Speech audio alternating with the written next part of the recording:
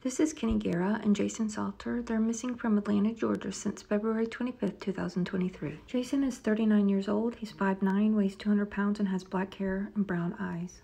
Kenny is 5'11", weighs 240 pounds, and has black hair and brown eyes. Jason's car was found at a Family Dollar in the 2000 block of Delowe Drive, and Kenny's car was found parked at the reserve at Birch Creek Apartment Complex in Southwest Atlanta. Jason and Kenny are not only best friends, they're also business partners, but more importantly, they are both fathers and they are missed terribly by all that know them. If you know the whereabouts of Jason or Kenny or you see them, please call 911 or Atlanta PD at 404 546 6900.